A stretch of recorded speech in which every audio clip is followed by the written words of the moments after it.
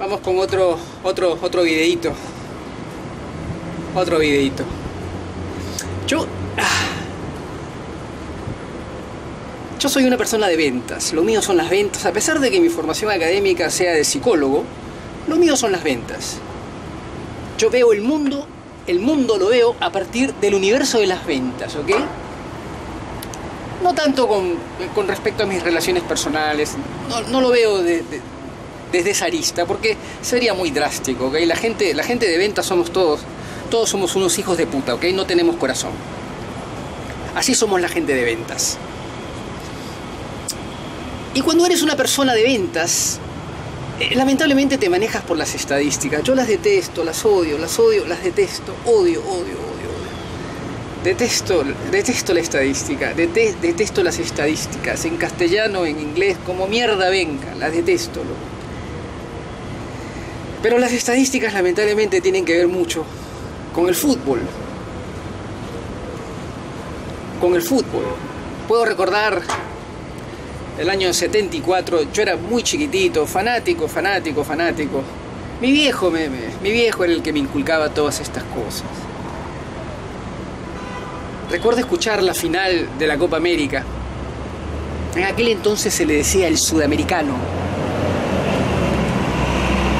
Mi viejo me contaba, me decía que, Sotil se iba a escapar del Barcelona. Yo no entendía mucho, no sabía qué, qué cosa era el Barcelona, no, no entendía nada de esas cosas. Pero Sotil llegó a, a Caracas.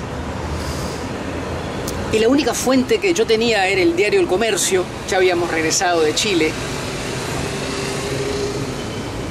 Y tuve acceso a Radio Caracol de Colombia para escuchar la final, la final en, en Venezuela, en Venezuela, donde Sotil anotaría el, el gol, eh, el gol que nos daría la Copa América, nuestra última Copa América, sudamericano.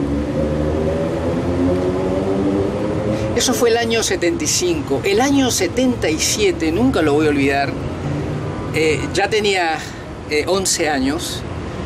Recuerdo perfectamente, eh, en directo, en directo, estar, estar desesperado, pero desesperado, desesperado porque Perú perdía 1-0, perdíamos 1-0. Y Muñante recoge una pelota, una pelota, por la banda, por la banda derecha. No me acuerdo si hizo un quiebre, no me acuerdo si se saca, se saca de encima un chileno. Y mete un zapatazo, un zapatazo.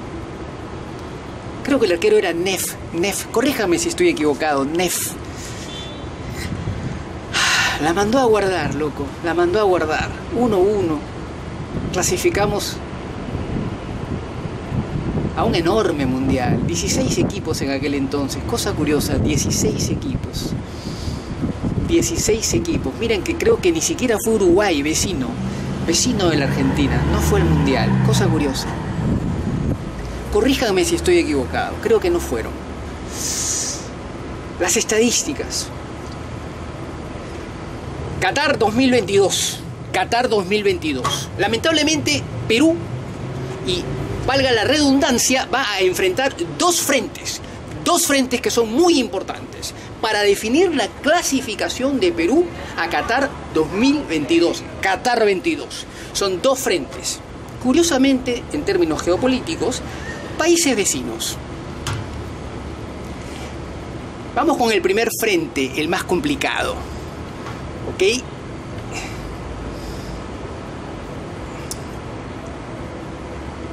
donde se definen más, más puntajes, ¿ok? En este primer frente se definen 18 puntos, 18 puntos. Enfrentamos a Bolivia, Chile y Ecuador. Tres vecinos.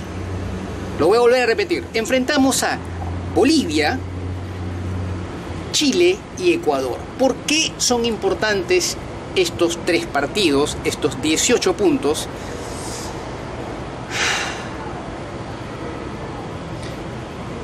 por la historia, la historia, la historia. Siempre, lamentablemente, la historia nos lleva a circunstancias en que hemos perdido mucho puntaje con estas tres selecciones. Ni hablar de Ecuador, el cuco de Perú, el cuco legendario de Perú durante los últimos 30 años. Ahora bien, ¿qué es lo que tiene que hacer Perú para zafar de este frente? Debería rescatar mínimo 12 puntos. 12 puntos. No cualquiera, loco. 12 puntos son 12 puntos. Es mucho. Pero Perú se ve obligado a rescatar 12 puntos. Los rescató para Rusia 18. Producto, por supuesto, de la decisión de la Conmebol, ¿no? De asignarle el triunfo a Perú en La Paz. 3-0 sobre Bolivia, cuando había perdido claramente por 2-0, ¿ok? Perú rescataría 12 puntos en este frente. En este frente. Contra Bolivia, contra Chile y contra Ecuador habría perdido los 6 puntos con Chile, tanto en Lima como en Santiago. Perú tiene que rescatar mínimo 12 puntos. Ahora bien, si rescatara 10 puntos u 11, no sé si los 11 califican dentro de esta ecuación matemática, corríjame si estoy equivocado. No estaría mal, pero sería más peleada la clasificación, ¿ok? Ahora bien, desglosemos estos tres partidos. Perú debe ganarle a Chile en Lima. Perú debe ganarle a Chile en Lima. Perú debe buscar en Santiago, si no la victoria, por lo menos el empate. Ahora bien, si perdiera Perú, no hay ningún problema. Tiramos para adelante, todavía nos queda Bolivia y Ecuador. Repartimos puntaje con Chile. Tres de un lado, tres del otro lado.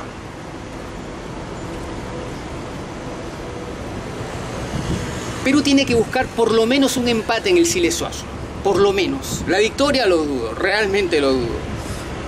Perú no utiliza mucho el, San Agustín de Arequipa, no utiliza mucho el, estadio de, Corríjame si estoy equivocado, no sé cómo se, eh, llama el estadio de, del Cusco, eh, que tiene altura, no sé, Garcilaso puede ser Garcilaso de la Vega, no lo sé.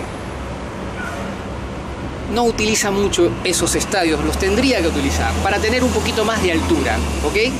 Yo pienso que un empate, un empate en La Paz sería fundacional. Habría que ganarle a Bolivia en Lima. No es tan fácil, parece fácil, no es tan fácil. Bolivia siempre es un hueso duro de roer para Perú, siempre, siempre, siempre. Sea en Lima, sea en La Paz, La Paz, Lima, Lima, La Paz. Siempre es un partido complicado, siempre es un partido complicado, siempre es un partido complicado. Y después el Cuco. El Cuco, Ecuador, el Cuco de Perú. El que nos sacó del Mundial Francia 98. Aguinaga nos saca ya un partido ganado en Lima. El partido estaba ganado.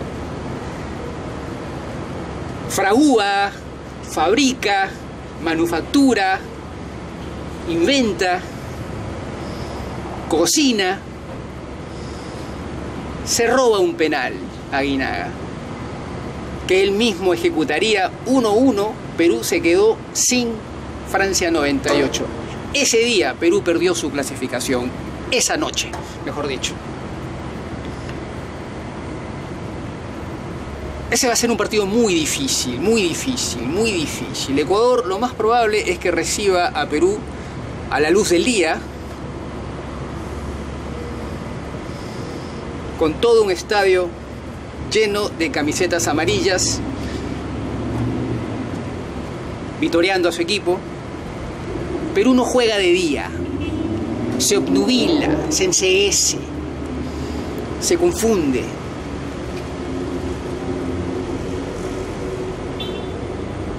Perú debe buscar un empate por lo menos, un empate. Si, si Perú rescata un empate en Quito, yo le veo al equipo de Gareca muchas posibilidades, muchas posibilidades de acercarse al quinto lugar repechaje, que es todo lo que persigue Perú, es el quinto lugar o el cuarto puesto de las clasificaciones de la Conmebol. Por favor, por favor, a pisar tierra. Perú solamente persigue el cuarto puesto y el cupo del repechaje, ¿ok? Ese es el objetivo de Perú. Perú no puede, no puede, no puede buscar ni el primero, ni el segundo, ni el tercero. No tiene con qué. Es un equipo que está a la altura de la Liga Mexicana. No tiene con qué. Tiene un gran equipo, sí, pero está a la altura de la Liga Mexicana. Es todo lo que tiene, es la verdad. En ese escenario, en ese escenario, Perú debe rescatar de manera imperativa, yo diría que entre 11 y 12 puntos, entre 11 y 12 puntos, sería ideal, sería ideal, entre 11 y 12 puntos entre 11 y 12 puntos. Lamentablemente Perú tiene que ganarle Ecuador en Lima. Tiene, y Ecuador es un equipo jodido, jodido, jodido. Ecuador conoce, sabe cómo ganarle a Perú. Le pega pelotazos a las bandas. Y después saca bombazos en parábola a la 18 para que sus delanteros la recojan con el pecho, de cabeza, o un zapatazo. Ya conocen el juego de Perú. Saben cómo ganarle a Perú. Gareca se tiene que cuidar con Ecuador porque Ecuador conoce la fórmula, la fórmula. Ecuador conoce la fórmula y además es su estilo de juego. Bombazos a los laterales, parábolas hacia la 18. Ese es el fútbol ecuatoriano. No tiene mucho, pero lo que tiene lo hace bastante bien y con mucha disciplina. Así han llegado a tres o cuatro mundiales en los últimos 25 años. Corríjame si estoy equivocado. Por lo menos tres mundiales. Ese es el primer frente. Tres países, Bolivia, Chile y Ecuador. Ahí se definen 18 puntos. Perú debe rescatar mínimo entre 10 y 12. Yo diría que 12 sería ideal. Ideal, ideal, ideal, ideal. Ideal. Yo odio las estadísticas, pero lamentablemente en inglés se dice eres what eres. No hay nada que hacer. Segundo frente, segundo frente, valga la redundancia que enfrenta Perú, Colombia. ¿Por qué Colombia? Colombia es un, es un, es un equipo que, eh, que curiosamente tiene, tiene historia con Perú. No hay rivalidad, ¿ok? No hay clásico. Este. Eh, no hay expectativas por ese partido de ambos lados. Ni a los colombianos les interesa el partido con Perú, ni a los peruanos les interesa el partido con Colombia. No hay ningún tipo, ningún por favor que esto quede claro.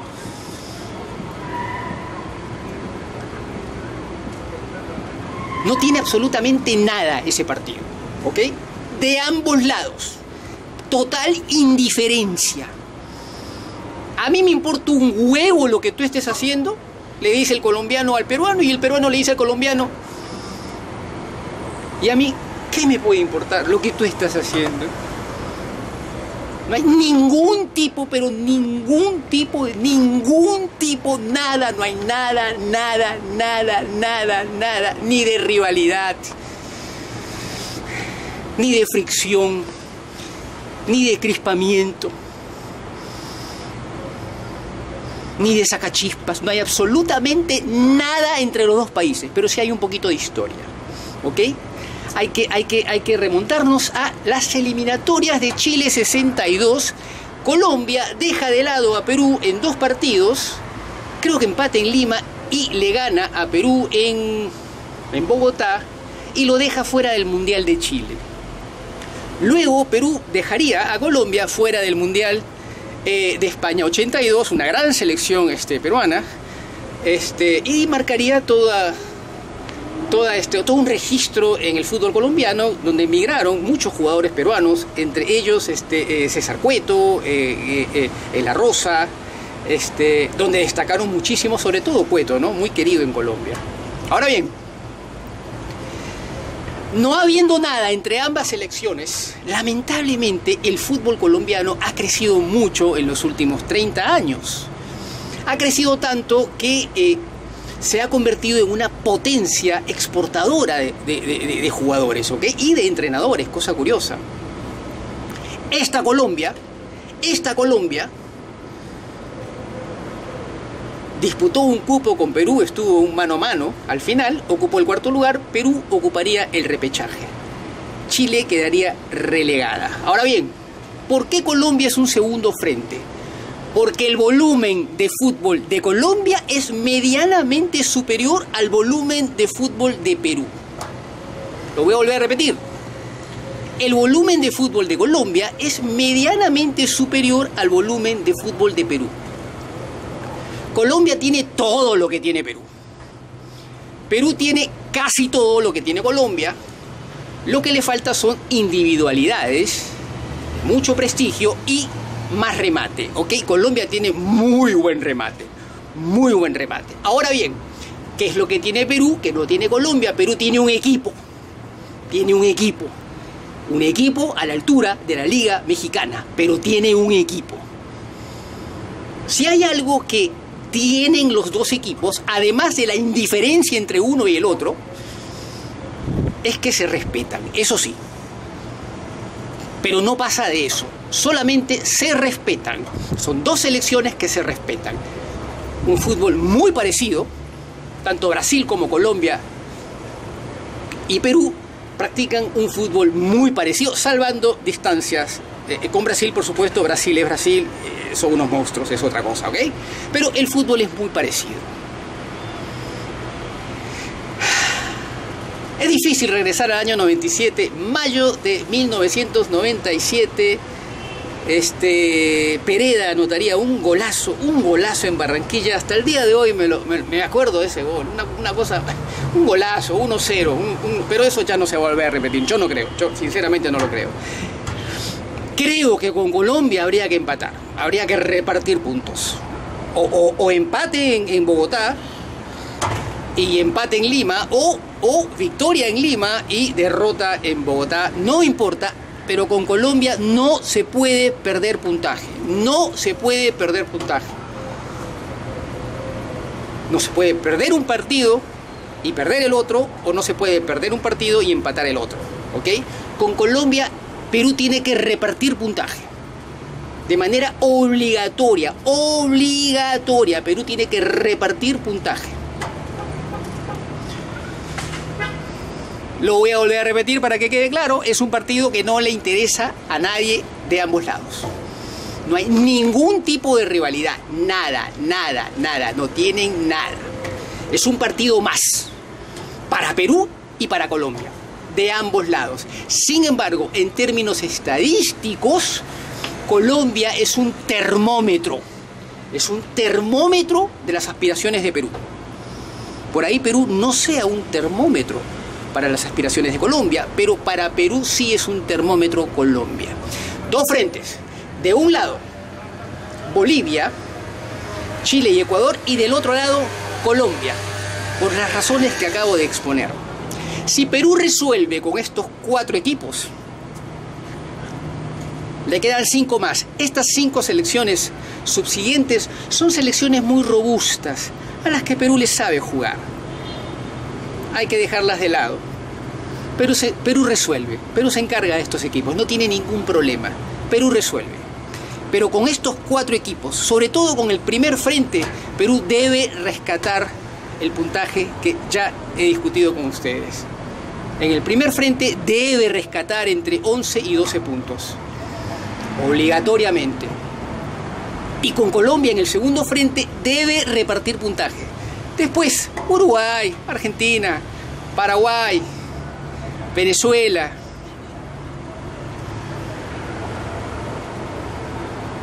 Perú tiene con qué. Perú tiene con qué. Y son equipos a los que, eh, eh, a los que respetan mucho el fútbol peruano, obviamente. No le tienen miedo, pero lo respetan mucho. Ojo, ¿eh? Mucho, mucho, porque Perú generalmente les quita puntaje, ¿ok? Yo soy Miguel para Miguel Cars, siempre para Miguel Cars desde South Beach, Florida. Este es un video que quería grabar hace unos 10 días más o menos. Y hoy no tenía muchos deseos de hacerlo, pero dije, vamos, vamos, vamos a hacerlo de una vez. Ya regreso con otro video. Qatar, Qatar, Qatar 22. Dale con todo. Adiós.